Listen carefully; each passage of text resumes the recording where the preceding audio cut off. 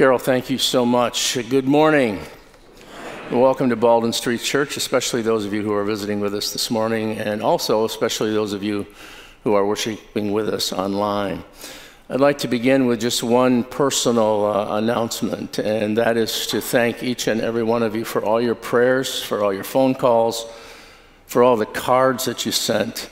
Uh, I really appreciate it, and uh, it made me feel just warm inside and, uh, and, uh, and blessed inside to be the pastor of, of this church and the good people within it.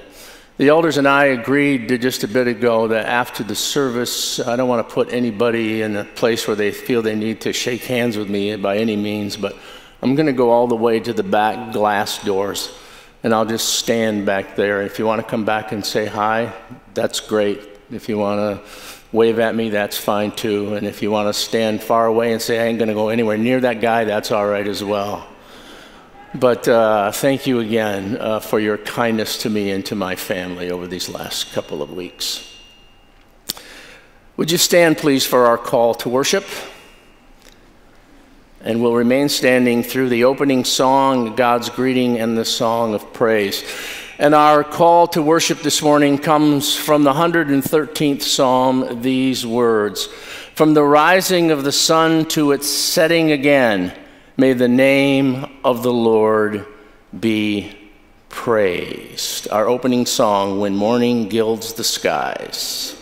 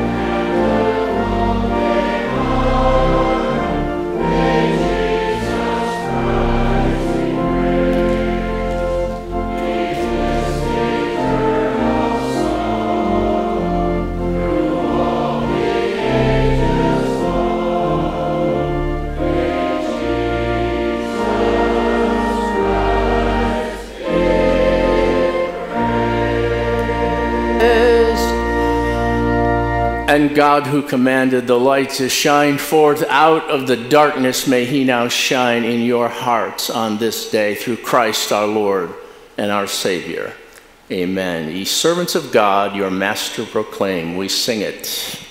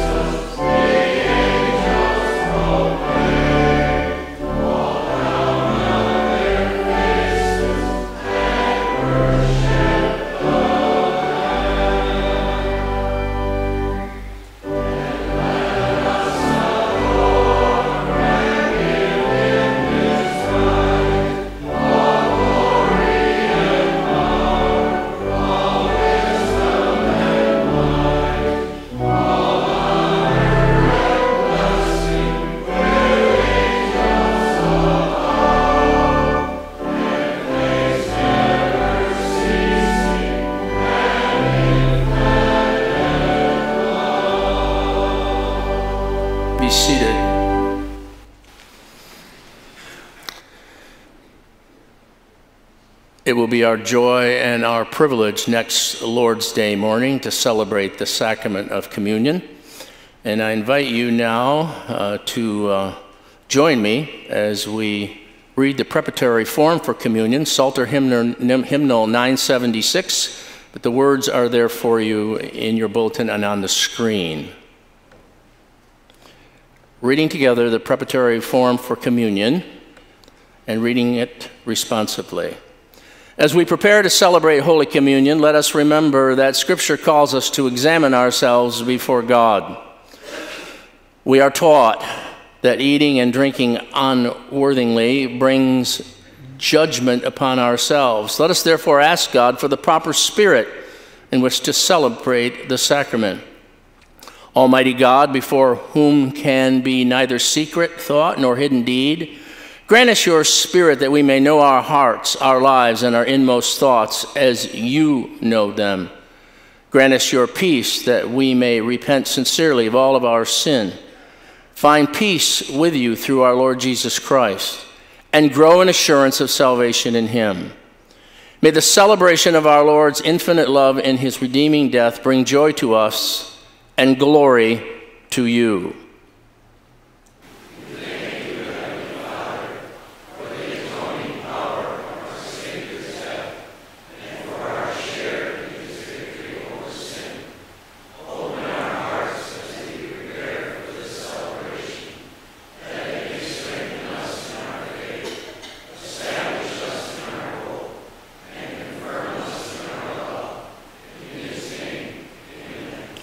Brothers and sisters, let us first examine our faith.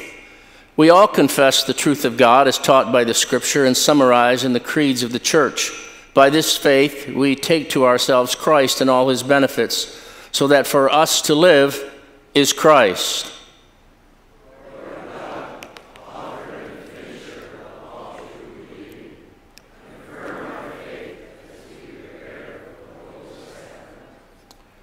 Let us further examine our hope. All Christian hope rests upon the finished work of Christ as Savior. The Holy Gospel teaches that all our righteousness is in Him and in Him alone. God's children rely wholly upon the merits of Christ, find in Him their strength and victory, and confidently expect His return in glory. They look forward to the celebrating of this Holy Supper anew with Him in the kingdom. They will surely be received by God at His table.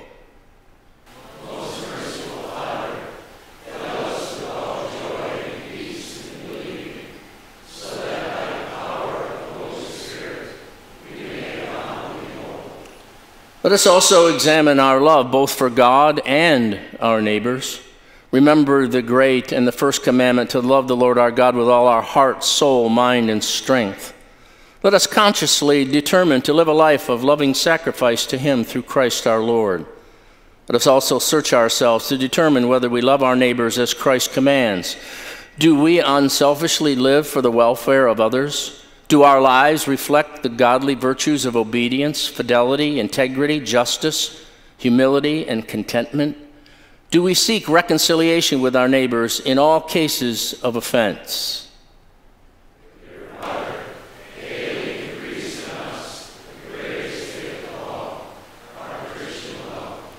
If these marks of spiritual life are not evident in us, we may not presume to approach his table. Those, therefore, who live in self righteousness, who hope in works or virtues of their own, or who do not show love to God and neighbor, have no true place at the Lord's Supper. Yet, we should not be deterred by any sin lingering within against our will. As we find faith, hope, and love within us, we ought gladly to obey our Lord's command and come with full expectation to God's open house of mercy.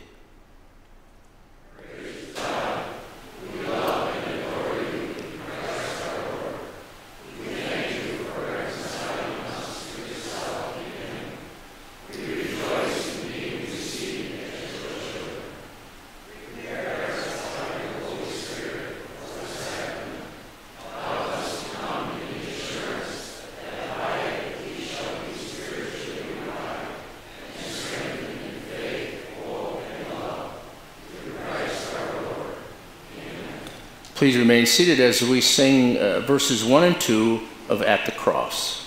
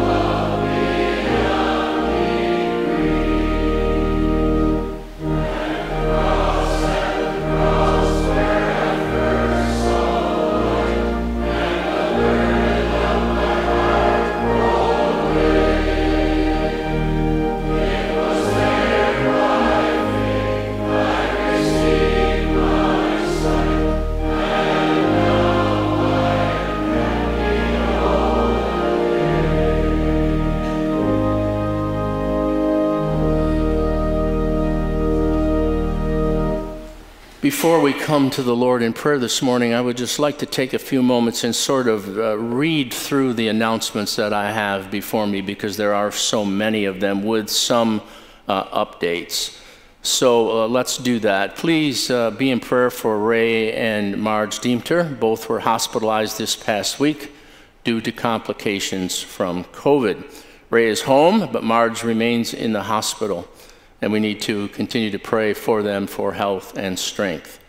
Jim Longstreet is recovering at home, and we home, and we give thanks to the Lord that he's doing well following his surgery. Gert Timmer fell, as many of you know, and hurt her back, and we need to pray for healing as well as pain relief. And the uh, update on her is that she has been taken to Zeeland Hospital for further evaluations and tests. So please remember Gert in your prayers. Gord Van Single, keep him in your prayers. He remains at home recuperating from COVID.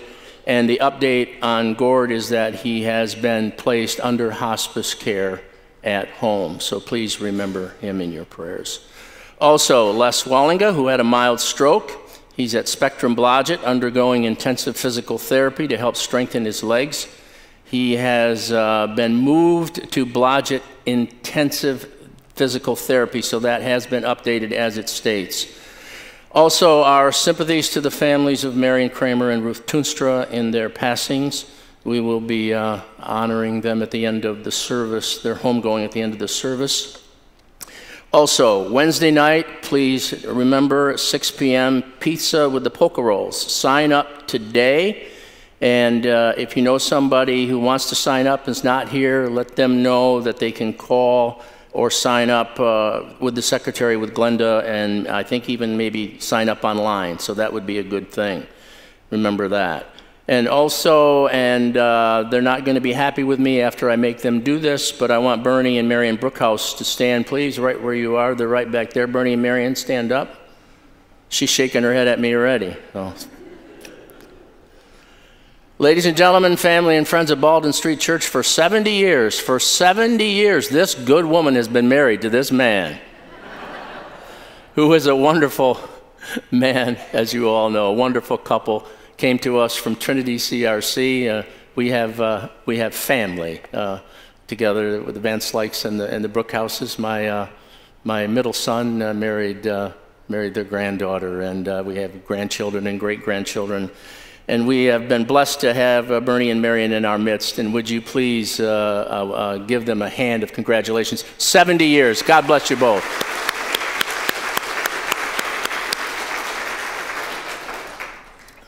Thank you so much. Let's pray.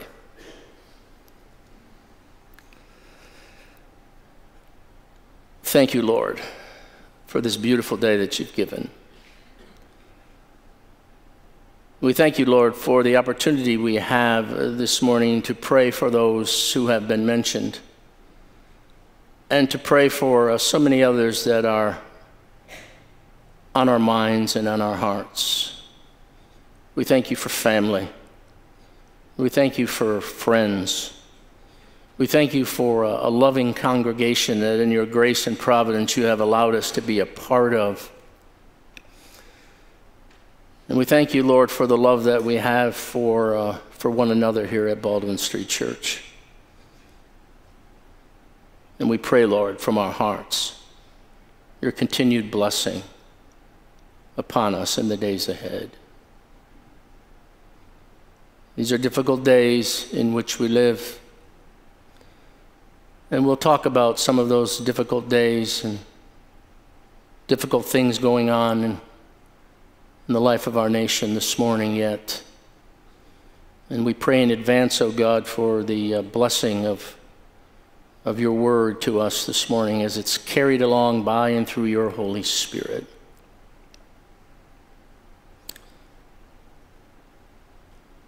lots of folks from our congregation who need our prayers.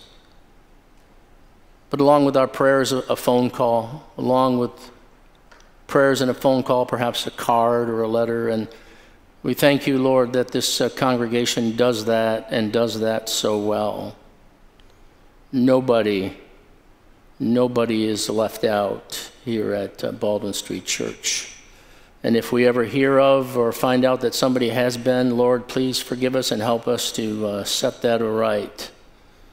We have, uh, we have been blessed by your divine hand.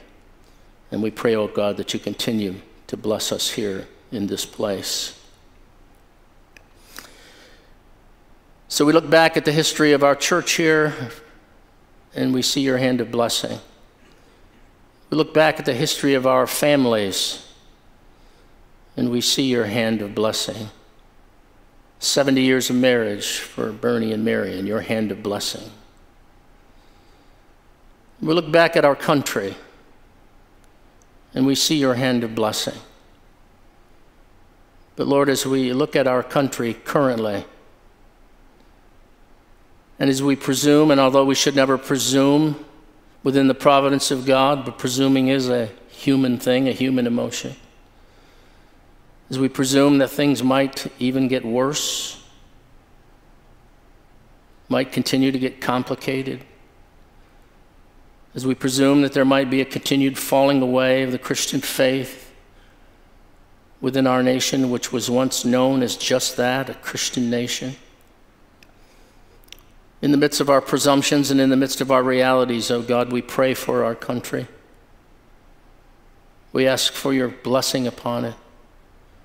And we pray, oh God, that by the leading of your Holy Spirit, you will fill the hearts of your people, light on fire to the point of revival the hearts of your people as never before. That America might once again know Christ love Christ, and live Christ. Thank you for this beautiful day that you've given. Thank you for not only having the opportunity to be in church on this day, but also to be with family and with friends, and to enjoy the beauty of the outdoors and feel the warmth of the sun.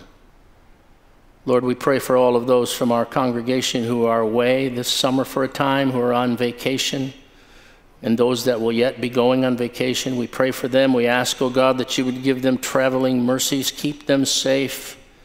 And when the summer finally, in your plan and providence, winds down and leads us into fall, we pray, oh God, that we all might be back together again as a full congregation, worshiping Lord's Day after Lord's Day.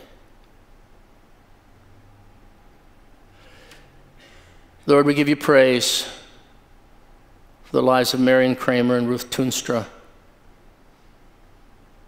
And we thank you, Lord, that along with their families, we have the assurance of their destination. We know where they are. In regards to that, O oh God, your word is true, it is crisp, it is clear, and it is to the point. And to be absent from the body is to be present with the Lord, to live as Christ. To die is gain.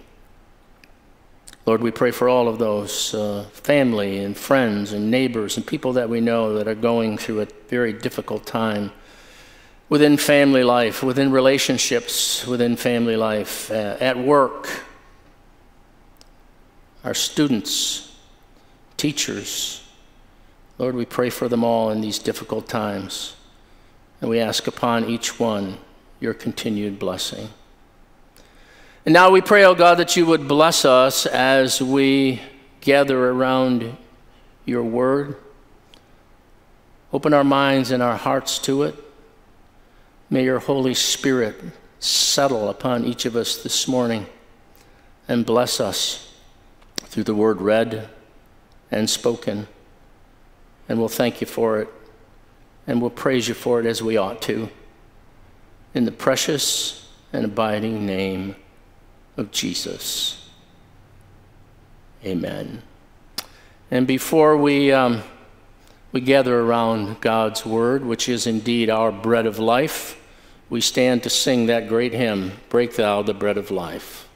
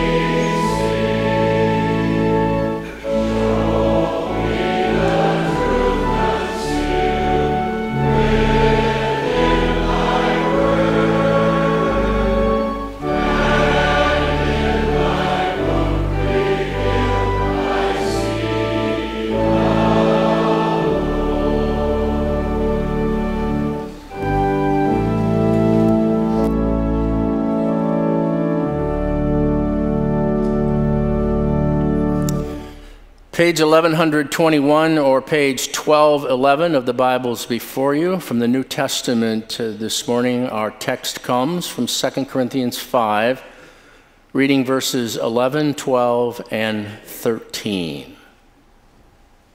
1121 or 1211, 2 Corinthians 5, 11, 12, 13.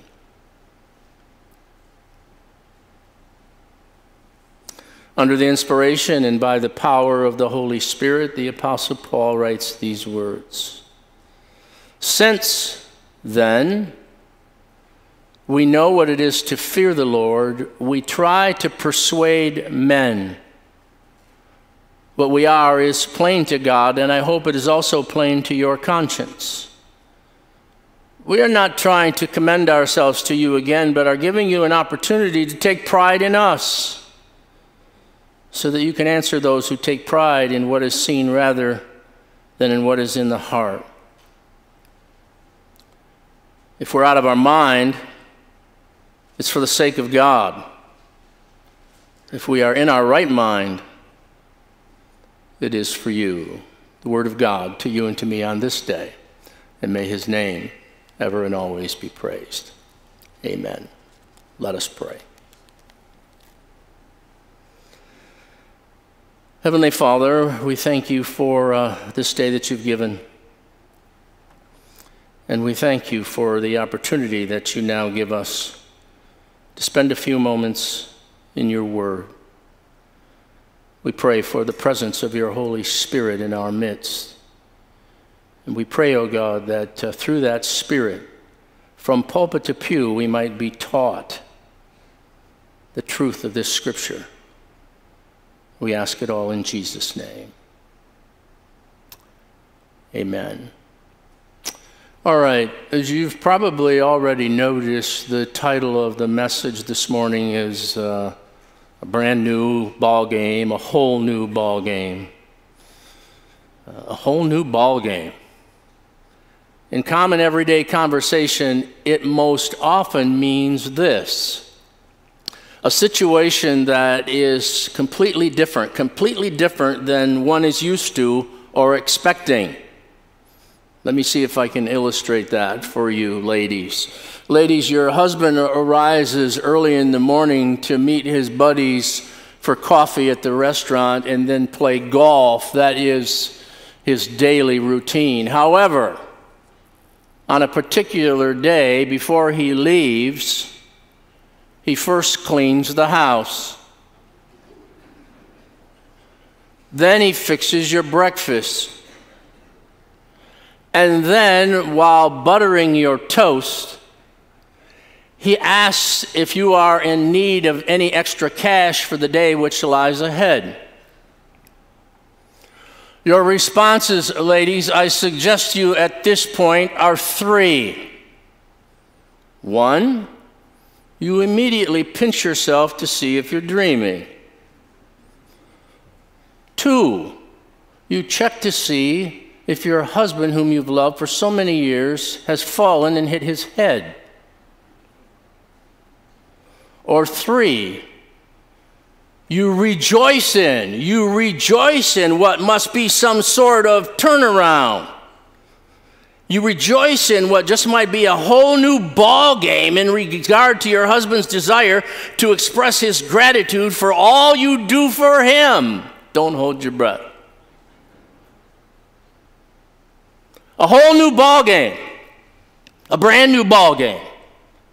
We've heard the expression time and time again in our lives. What it means, what it means is the arrival of a situation that is completely different, completely different than what one is used to or otherwise expecting to happen or to come to pass.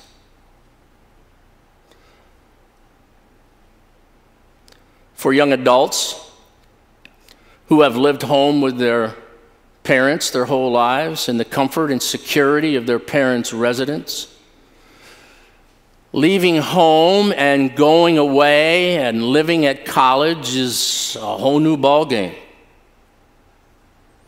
For a young married, otherwise independent husband and wife able to pick up and uh, go anywhere at any time for the evening, for an overnight getaway, for a couple of weeks of vacation. The arrival of a baby or two is a whole new ball game and a whole new world for an older couple who have made the decision to retire. Sometimes, sometimes you see that move as wonderful and relaxing as it can be, can be stressful at times. Many retired couples find out sooner rather than later that a fixed income can become a whole new ball game financially, and it isn't always easy to adjust or adapt to.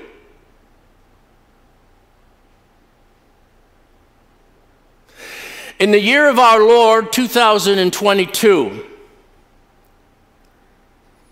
in the year of our Lord 2022, in America, in the good old USA, in the land that we hold dear and love with all of our hearts, the traditional American family and home, the traditional aspects of American culture, the traditional aspects of American society, and the traditional beliefs of Christianity and the absolute truths of the scriptures as, on, as the only rule of faith and practice in our lives has been and continues to be under attack as never before.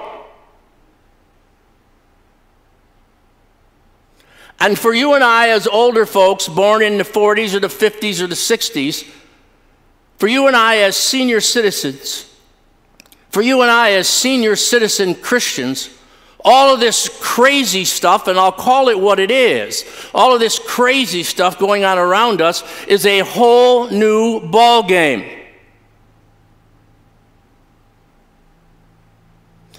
Yes, yes, a thousand times yes. We know that the Christian church has always been persecuted since its beginning, always has been, always will, till the Lord comes again in great glory.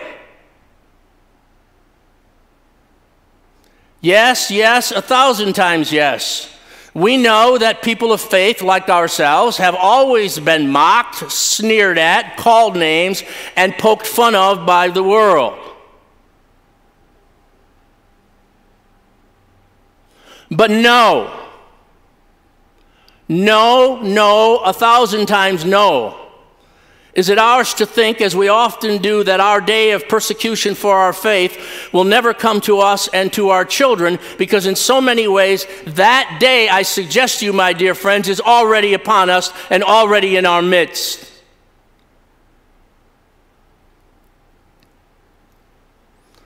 Seven months into the year of our Lord 2022. And this world in which we're living is getting crazier by the day. This country that we cherish is changing in ways we never thought it would. Your life and my life in the good old USA is a whole new ballgame.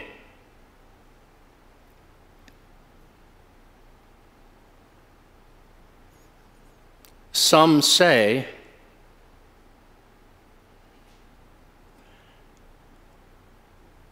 And so many nowadays believe, who'd ever thought it?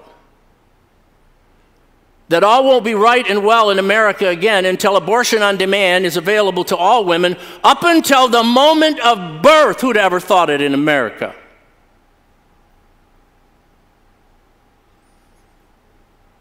Some say and believe that all won't be well and all won't be right until any and all chosen pronouns are properly pronounced at the proper time, moment, situation, and circumstance. Things won't be right until, for example, and I just heard this one the other day, the word mom is replaced by birthing parent. And the word dad or father is replaced by non birthing parent.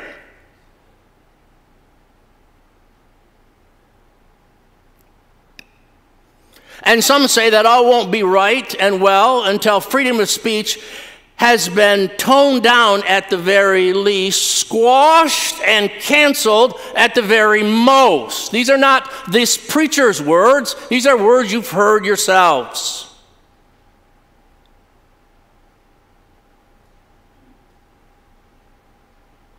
However, my friends, here is what we say. And here is what we believe.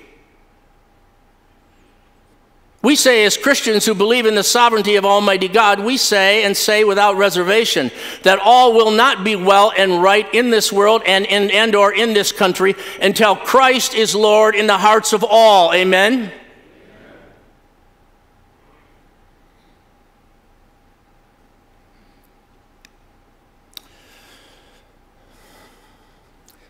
May the Lord in and by and through his Holy Spirit shower his love and his grace and peace and truth upon our land and throughout the world. And may he do so soonest.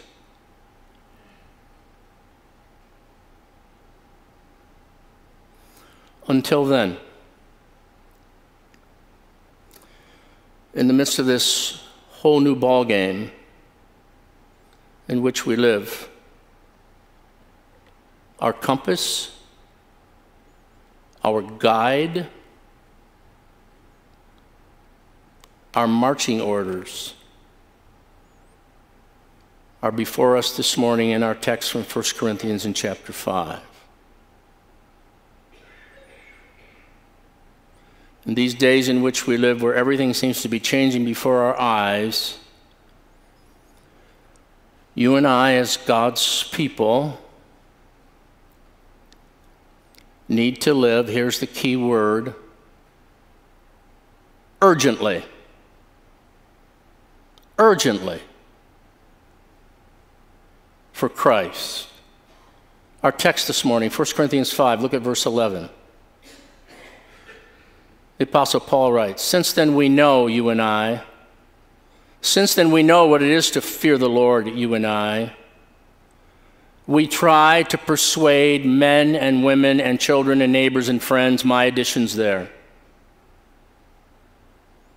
Paul is saying to Christians then and Christians now, we must, you and I, every single solitary day, live biblically and urgently before everybody. In other words, live biblically and urgently, sound and true in all that we do. In these days in which we live, where so much of what was once accepted morality and understood decency and respect for the things of the Lord, when so many of these things have long since been thrown out the window of modern day living. It is of the utmost importance, my dear friends, it is of the utmost importance that those of us who know Christ and those of us who love Christ and those of us who cherish His Word with all of our hearts, His Word that is the only rule of faith and practice for our lives.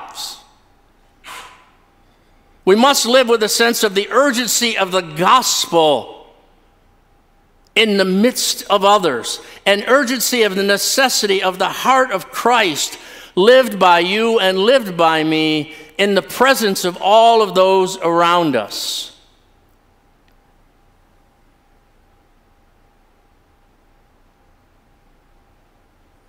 Here's what I'm thinking. And I don't think it's just a wild idea by a preacher standing in a pulpit this Sunday morning. I'm thinking that barring a God sent good old fashioned national revival, barring a good old fashioned national God sent revival, which, by the way, you and I should be praying for every day.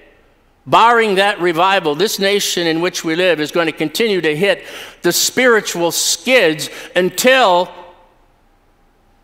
what comes along will come along, and that's nothing less than a divine reckoning.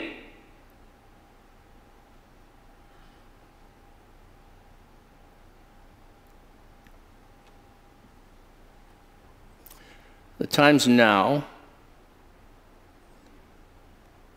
The time is the current moment. The time is at hand for you and I to live with a sense of urgency for the salvation of others. The time is now and the time is at hand.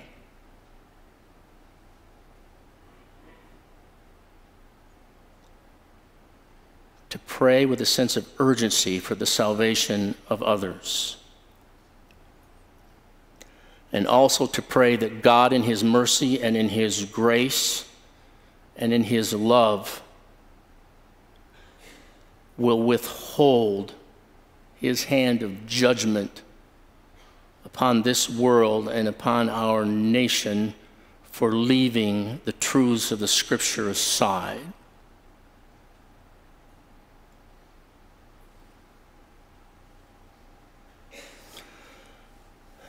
Before I move on to the second point, I, just ask you, as well as I ask myself in regards to verse 11 Are you living urgently? Well, we often do. We say, "Well, I'm, I'm urgent about this. What's going in my uh, going on in my family, and rightfully so. I'm, I'm urgent about uh, getting a new job, and, and rightfully so. And I'm urgent about uh, someday uh, getting married for some of the younger ones that are, are, are, listening. I want to get married and settle down. You say, I'm urgent for that to happen. And rightfully so in your youth to have that feeling. But above all that and beyond all that, are you and I living urgently with concern and Christian love for those who have yet to open their heart to Christ and know Him as their Lord and Savior?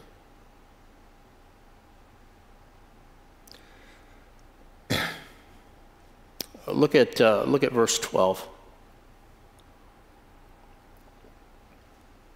Paul writes, We're not trying to commend ourselves to you again, but are giving you an opportunity to take pride in us so that you can answer those who take pride in what is seen rather than what is in the heart.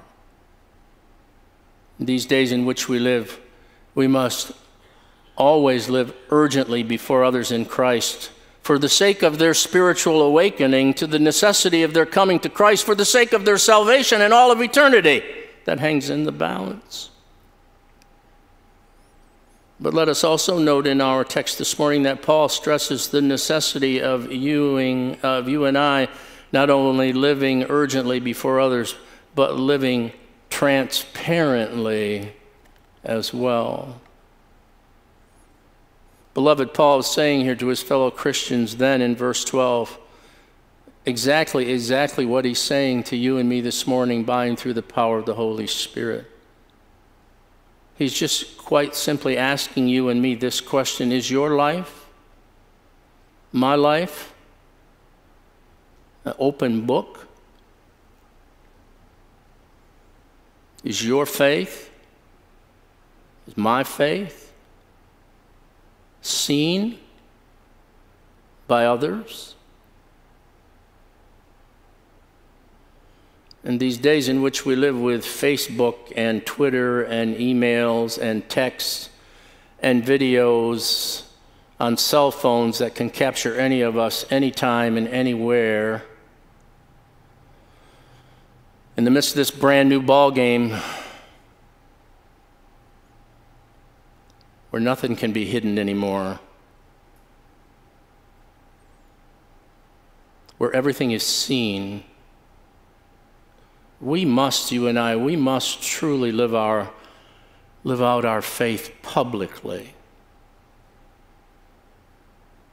Paul is saying to those in the Corinthians church, I'm your pastor, I'm your spiritual leader. And I want you to be proud of me and all of the leaders in the church. So I strive, Paul says, to live transparently. No secrets. No skeletons in my closet, says Paul. Husbands, is that how you live with your wife? No secrets, no surprises. Nothing hidden? Wives, is that how you live with your husbands? No secrets? No surprises? Nothing hidden?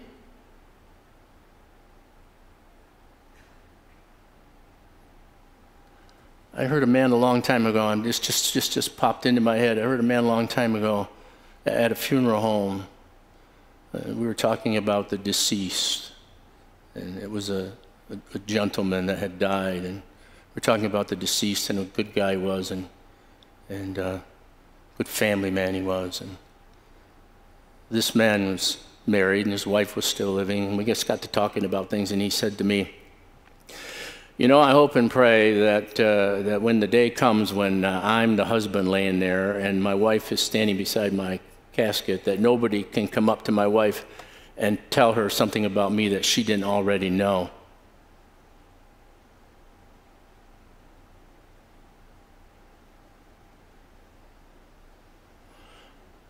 Husbands, is that how you live with your wife? No secrets, no surprises, nothing hidden. Wives, is that how you live with your husbands? No secrets, no surprises, nothing hidden.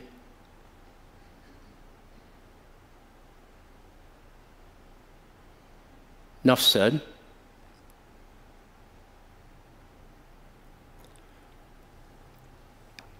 Lastly, this. In these days in which we live, in these days that the Lord in His plan and providence has placed us, let us live urgently, let us live transparently, especially within marriage, and let us live without apology. From our text this morning, verse 13 of 2 Corinthians 5, Paul writes, this is, this is interesting. I, I have to admit that when I first read this portion, and I've read it before, it didn't make a lot of sense to me. It didn't register up here uh, until I looked in a commentary, and the commentary said, you know, read it in light of the book of Acts and, and, and, and, and chapter 25, and I'll get to that in just a minute. And this is just an aside.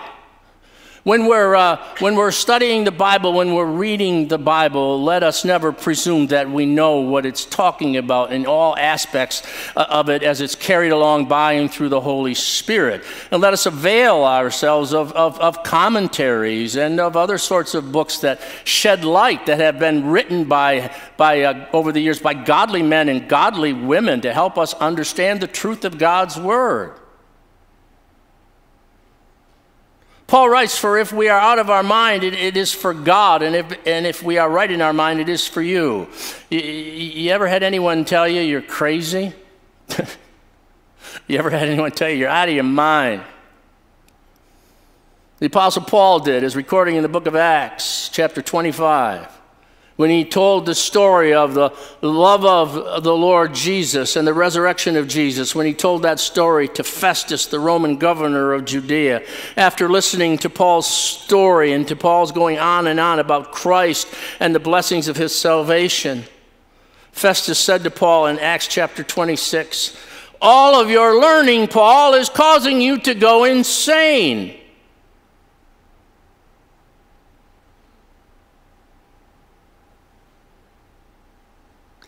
And to this accusation, did the Apostle Paul ever once apologize for his faith? Never.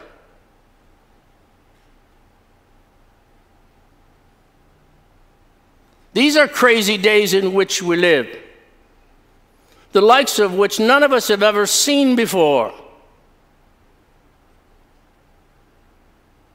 This brand new ball game in which we participate in in the midst of it. May the Lord ever find us faithful and never, never, never apologizing for our faith. In the midst of it, may the Lord always find us true to His word. In the midst of these days, may we live always without apology, without apology about our faith, without apology of our love for the Lord, without apology of our love for His word, without apology of our love for His church, without apology of the joy of His salvation, and without apology of the security of the Lord's steadfast love, this side of glory that you and I are experience every, experiencing every moment we draw breath. And let us never live in apology, but always and ever in infinite praise for as long as we live. For the eternity that follows our earthly passing. As we find ourselves once and for all and forever in that place, that eye hath not seen, nor ear heard, nor the mind of man conceived of the glory that God has in store for you and for me and for all who love Him.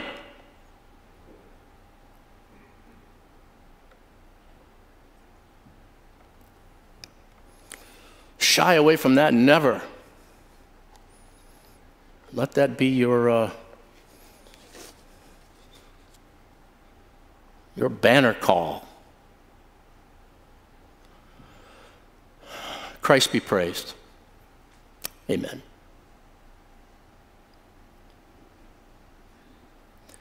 Father, we thank you for your word this morning. And we pray that you would uh, bless it to our hearts. These are difficult days in which we live. These are difficult days in which we find ourselves.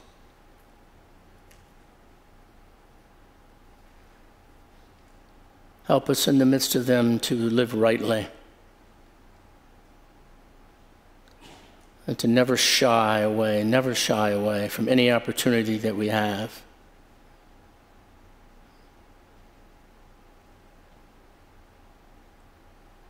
To share the love of Jesus. And to speak of his salvation, so full and so free. And the power of the Almighty to lift up, bless, and restore any nation, any nation, at any time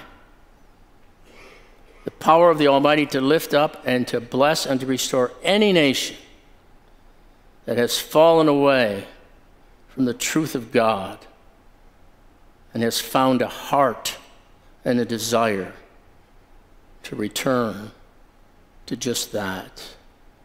We trust you, Lord, in all things and at all times, and for all things and for all times we give you praise in Jesus' name. Amen. Stand to sing.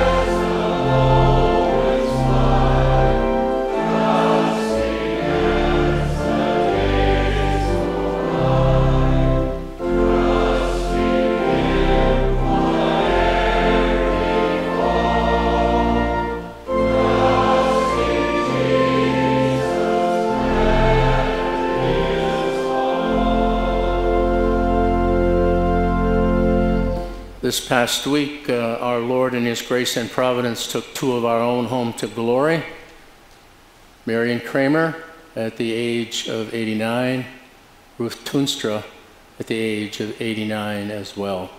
Good, long lives that the Lord gave them, and they lived them fully for the Lord. Jesus said, Let not your heart be troubled. You believe in God, believe also in me. Jesus said, In my Father's house there are many mansions, and if that weren't so, would I have told you that I go to prepare a place for you? And if I go to prepare a place for you, I will come again and receive you unto myself, so that where I am, there you may be also. Translation as we end our service this morning where Marion and Ruth are now, we soon at some point will be. The name of the Lord be praised. The Lord bless you and keep you. The Lord lift his countenance upon you, and the Lord grant you his peace. God bless you. Amen.